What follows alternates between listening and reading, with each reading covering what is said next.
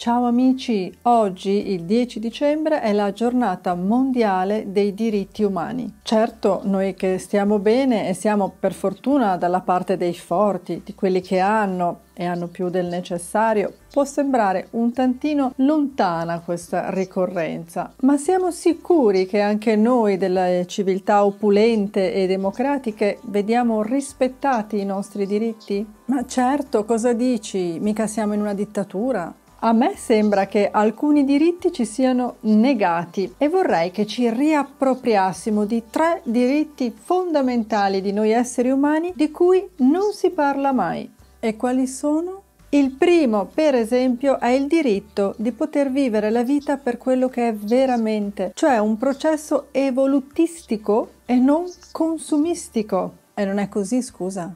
No, l'unica evoluzione che ci è concessa è quella di nascere, consumare, evolvere la nostra capacità di consumo e quando diventiamo vecchi essere messi da parte e morire.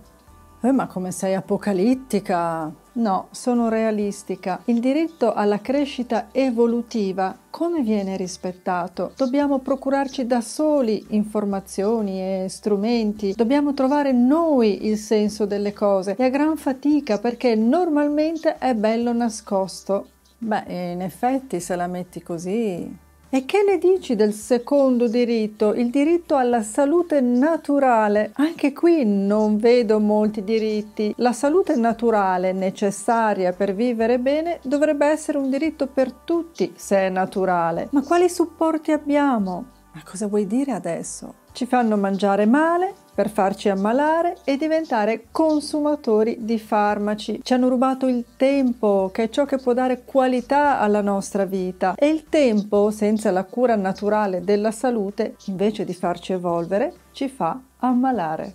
Simona, mi fai paura? Niente paura, basta riflettere un attimo e vedi anche tu che è così. E il terzo diritto poco frequentato è il diritto alla felicità.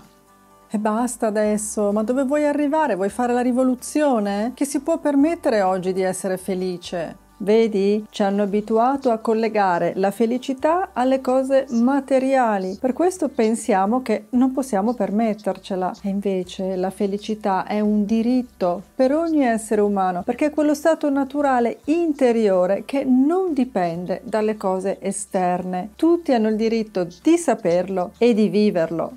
Eh, certo, così sarebbe un mondo migliore. È quello che vorrei io.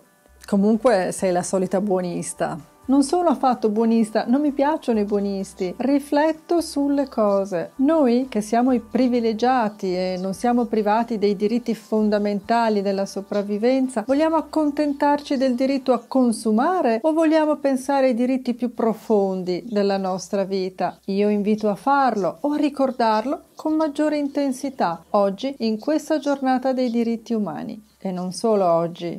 Condividi, clicca mi piace, iscriviti.